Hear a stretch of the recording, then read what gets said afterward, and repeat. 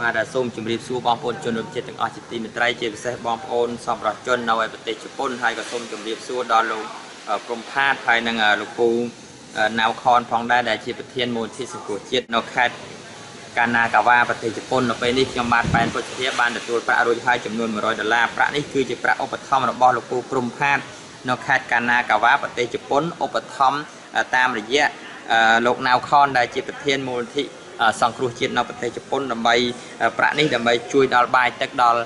បាតកោនៅថ្ងៃទី11 12 13ខាងមុខនេះដែលជាបាតកម្មប្រឆាំងស្ថានទូតយួនក៏ដូចជាបាតកម្មទាមទារឲ្យមន្ត្រីស្ថានទូតយួនលោកត្រឹងវ៉ាន់ថងសុំទោសប្រជាប្រដ្ឋជាសាធារណៈហើយទន្ទឹមនឹងនេះខ្ញុំបានក៏សូមថ្លែងអំណរគុណយ៉ាងជ្រាលជ្រៅដល់ផងដែរដល់បងស្រីសុខានីនិងបងស្រីសុខាដែលកំពុងរស់នៅប្រទេសបារាំងដែលបានឧបត្ថម្ភថវិកាចំនួន300ដុល្លារដែរគឺសម្រាប់បាយទឹកបាតកោហើយនិង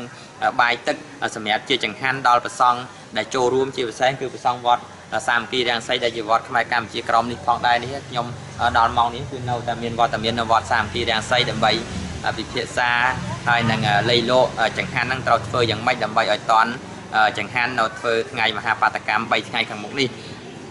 ខ្ញុំបាទប៉ែនពុទ្ធភេទជាក្នុងឱកាសនេះសូមថ្លែងអំណរគុណយ៉ាងជ្រាលជ្រៅដល់សពប្រជាជនដែលខ្ញុំបានរៀបរាប់ឈ្មោះអំបញ្ញមិញនេះហើយចំណាយថវិកា100ដុល្លាររបស់លោកពូដួងខេងនៅ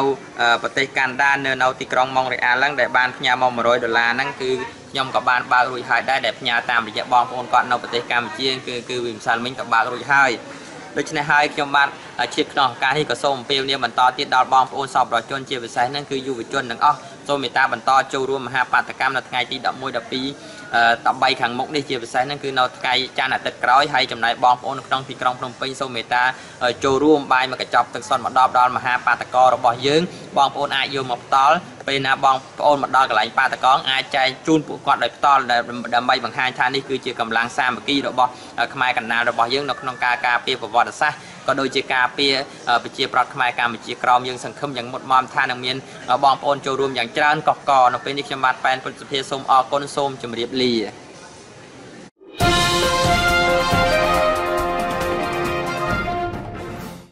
សួរបងប្អូនជនរួមជាតិទាំង អស់ជាទីមេត្រីជាពិសេសបងប្អូនសពរដ្ឋជននៅឯទីក្រុងម៉ុងរ៉េអាល់ប្រទេសកាណាដាហើយក៏សូមជម្រាបសួរដល់អ្នកមានទី7និងឧបាសិកា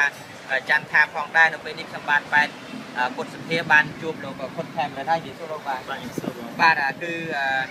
អ្នកមីងហ្នឹងគឺបានបង្កើតមូលនិធិមួយដែលមានឈ្មោះថាមូលនិធិរស្មីអង្គរភ្នំហើយគាត់ ស្រឡាញ់ពាក្យនេះណាពីព្រោះថារស្មីអង្គរភ្នំហ្នឹងគឺគាត់ចង់ឲ្យសម័យអង្គរហ្នឹងគឺជាប្រទេសយើងហ្នឹងមានរស្មីរុងរឿងតញ្ញះចង់ហើយដូច្នេះហើយគាត់ចង់បានពាក្យហ្នឹងឲ្យខ្មែរយើងប្រើយុវជនយើងប្រើពាក្យរស្មីអង្គរភ្នំនេះពីព្រោះថាយើងចង់ឲ្យប្រទេសកម្ពុជាយើងសពថ្ងៃនេះខ្លាយជាប្រទេសមួយដែលមានរស្មីពលឺដោយសម័យអង្គរអញ្ចឹងហើយដូច្នេះហើយគាត់បានស្រឡាញ់ពាក្យហ្នឹងហើយយើងក៏គាត់ក៏បានបង្កើតមូលនិធិរស្មីអង្គរភ្នំនេះហើយ គាត់បានផ្ញើប្រាក់មកចំនួន100ដុល្លារសហរដ្ឋអាមេរិកគឺ50ដុល្លារហ្នឹងគឺគាត់ឧបត្ថម្ភលោកខុនខេមរិនចំនួន50ដុល្លារហើយ30ហើយនឹង20ដុល្លារទៀតគាត់ឧបត្ថម្ភដល់រូបខ្ញុំប៉ែនពុទ្ធសភាអញ្ចឹងអាមីងទី7ហ្នឹងគាត់ឧបត្ថម្ភទឹកប្រាក់សរុបហ្នឹង70ដុល្លារហើយចំណាយ30ដុល្លារទៀតគឺឧបាសិកាច័ន្ទថាគាត់ឧបត្ថម្ភទៅលោកខុនខេមរិនដែរហើយដូច្នេះហើយសរុបទៅគឺ គាត់ឧបត្ថម្ភលោកខុនខេមរិនហ្នឹង80ដុល្លារគឺអ្នកមីទី2 50ដុល្លារនិងឧបាសិកាច័ន្ទថាហ្នឹង50ដុល្លារហើយឥឡូវនេះកុំឲ្យខាតពេលដោយសារថាលោកខុនខេមរិនហ្នឹងបានមកចិត្តខ្ញុំហើយគឺវល់រហូតលោកណាបាទតាក់ទងតាមទូរស័ព្ទលុយនេះគាត់ផ្ញើមកពីថ្ងៃហើយឥឡូវសូមប្រកបថាវិការចំនួន80ដុល្លារបាទជំនាញពាក្យពេចន៍ឯងជាការនេះមានទី2 ក៏សូមថ្លែងអំណរគុណទៅដល់នាមីទី7និងឧបាសិកាចន្ទថាជាពិសេសគឺមូលនិធិរស្មីអង្គរភ្នំដែលបានឧបត្ថម្ភដល់ពួកយើងខ្ញុំដែលជាយុវជនសកម្មដែលធ្វើការងារនៅក្នុងប្រទេសជាតិហើយជាពិសេសក៏សូមអរគុណទៅដល់បងបែបពុសធាដែលជាអ្នករាយការណ៍ពិសេសតំណាងអ្នករាយការណ៍ពិសេសតែងតែនាំនៅថវិកាក៏ដូចជានាំនៅសកម្មភាពរបស់យុវជនដែលកំពុងធ្វើការងារសប្តាហ៍ថ្ងៃជូនទៅដល់បងប្អូនប្រជាជនដែលងាយសមុទ្រហើយថវិកានេះផងដែរគឺខ្ញុំនឹងយកទៅដើម្បីចាត់ចែងជាពិសេសគឺផ្ដល់ទៅដល់យុវជនមួយចំនួនទៀតដែលក៏គាត់នៅកំពុងតែធ្វើការងារសកម្មនៅពួកខ្ញុំដើម្បីជាជាការលើកទឹកចិត្តដល់ពួកគាត់ក្នុងការបំពេញការងារជាបន្តទៀតហើយក៏សូមថ្លែងអំណរគុណយ៉ាងជ្រាលជ្រៅទៅដល់បងប្អូនបងប្អូនសភាដែលជាអ្នករាយការណ៍ពិសេសហើយផ្ដល់ព័ត៌មានពិតប្រាកដគឺបងប្អូនប្រជាពលរដ្ឋជាពិសេសនោះគឺសូម ឲ្យបងប្អូនប្រជាពលរដ្ឋនៅអានេសមុទ្រទាំងអស់អឺតើជួយឧបត្ថម្ភដល់យុវជនដែលធ្វើការងារសកម្មបន្តទៀតពីព្រោះសប្តាហ៍ថ្ងៃនេះមានយុវជនជាច្រើនណាស់ដែលគាត់កំពុងតែ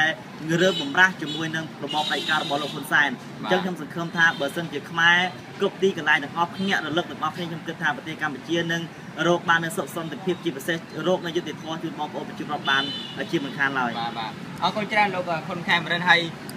ខ្ញុំក៏មិនមានពាក្យពេចន៍អីលើសពីលោកខុនខេមរិននេះគឺយើងអឺមានក្តីរំភើបចំពោះការគ្រប់គ្រងរបស់បងប្អូននៅឯនេះសមុទ្រហើយជាពិសេសដល់មូលនិធិរស្មីអង្គរភ្នំហើយក៏សូមពៀងនេះឲ្យបងប្អូនបន្តការយកចិត្តទុកដាក់ដល់សកម្មជនជាពិសេសយុវជនដែលស្រឡាញ់ទឹកដីស្រឡាញ់ជាតិមាតុភូមិនឹងហើយថ្ងៃ11 12 13ហ្នឹង បាទដូចហើយឆ្លៀតឱកាសនេះផងដែរគឺនៅថ្ងៃ11 12 13ហ្នឹងគឺពួកខ្ញុំដែលជាយុវជនបាទអាទិត្យក្រោយហ្នឹងថ្ងៃច័ន្ទថ្ងៃអង្គារថ្ងៃពុធគឺជាថ្ងៃដែលពួកយើងដែលជាយុវជនសម្ព័ន្ធយុវជនខ្មែរដើម្បីប្រជាធិបតេយ្យសហការជាមួយនឹងសហគមន៍ខ្មែរកម្ពុជាក្រោមប្រសង់ខ្មែរកម្ពុជាក្រោមក៏ដូចជានិស្សិតបញ្ញវន្តនឹងធ្វើមហាបាតកម្មមួយទៀតដើម្បីដង្ហែដង្ហែដាក់ញត្តិទៅតាមស្ថានទូតមួយទាំងអស់ដែលជាសមាជិកអាស៊ានបន្ទាប់មកយើងនឹងធ្វើការទៅជួប ជុំគ្នានៅមុខស្ថានទូតយួនអញ្ចឹងជាការអំពាវនាវរបស់ខ្ញុំក៏សូមឲ្យបងប្អូនប្រជាពលរដ្ឋជាពិសេសយុវជនទាំងអស់ដែលបានមើលវីដេអូឃ្លីបរបស់អ្នករាយការណ៍ពិសេសសូមអញ្ជើញចូលរួមទាំងអស់គ្នាដើម្បីជាកម្លាំងជាពិសេសគឺយើងទៀមទាឲ្យយួនទៅតែសុំទោសខ្មែរជាសាធារណៈបាទសូមអរគុណបាទហើយជាក្នុងឱកាសនេះបងប្អូននៅពេញអាជីវកម្មសូមមានការឧបត្ថម្ភម្នាក់ បាតកម្នាក់គឺបាយមកកញ្ចប់ពេជ្រមកបាទបាទឲ្យគាត់យកមកខ្លួនឯងហ្មងក៏បានដែរឬមួយក៏តាក់ទងតាមអ្នករាយការណ៍ផ្សេងក៏បានដូច្នេះយើងសង្ឃឹមថាខ្មែរយើងនឹងសាមគ្គីគ្នាខ្លាំងខ្លាចចាប់ពីពេលនេះតទៅដូច្នេះចុងក្រោយគឺកុំភ្លេចចូលរួមមហាបាតកម្មប្រឆាំងឋានទូតយូរនៅថ្ងៃទី11 12 13សប្តាហ៍ក្រោយសូមអរគុណសូមជម្រាបលា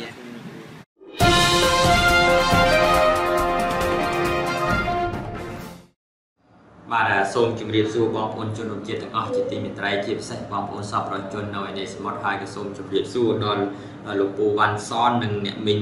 វ៉ាន់សថនផងដែរដែលកំពុងរស់នៅប្រទេសស្វីសសប្តាហ៍ថ្ងៃនេះហើយ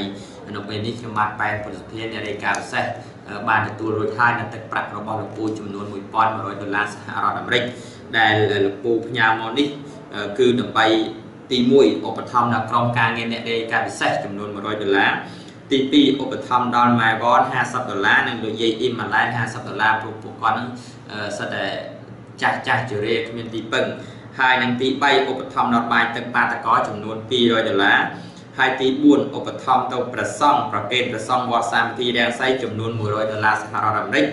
ហើយនឹងសល់600ដុល្លារទៀតគឺឧបត្ថម្ភជនរងគ្រោះមកពីខេត្តកញ្ចេះដែលកំពុងស្នាក់នៅវត្តសាមគ្គីរាំងសីដែលឧបត្ថម្ភ